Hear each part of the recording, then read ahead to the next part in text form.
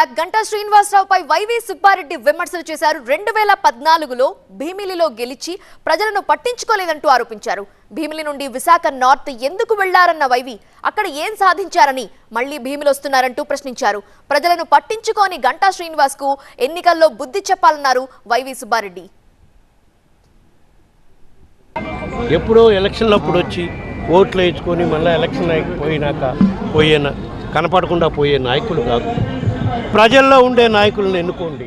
ఎందుకంటే గతంలో శాసనసభ్యులుగా ఉన్నోళ్ళు గెలిచినా ఓడినా కూడా ఈ భీమిలి నియోజకవర్గంపై శ్రద్ధ పెట్టిన దాఖలాలు లేవు. అదే ఇప్పుడు శాసన ప్రతిపక్ష పార్టీల తరఫున శాసనసభ్యులుగా మీ ముందుకు వచ్చి ఆయన భీమిలో నిలబడ్డప్పుడు కానివ్వండి తర్వాత నార్త్ నియోజకవర్గంలో నిలబడ్డప్పుడు కానీ ఏమన్నా కార్యక్రమాలు చేయటం కాదు. అసలు ప్రజలకు కనపడ్డారా?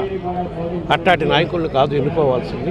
నిరంతరము ప్రజల్లో ఉండే నాయకులను ఎన్నుకోవాలి. అదే ప్రతిపక్ష పార్టీల అభ్యర్థులుగా ఉండేవాళ్ళు ఏం చెప్పి ఓట్లు అడగాలనుకుంటున్నారు భీమిలి నియోజకవర్గ ప్రజలకి? అది మీ ద్వారా వాళ్ళని అడుగుతారు. కాబట్టి తప్పకుండా భీముల నియోజకవర్గ ప్రజలు రాబోయే రోజుల్లో ఒకటే ప్రజలకు అందుబాటులో ఉండే నాయకులు ఎవరో ఆలోచించుకొని ఓటు వేస్తారు వేయాలని చెప్పి వాళ్ళకి విజ్ఞప్తి చేస్తూ ఉన్నాం.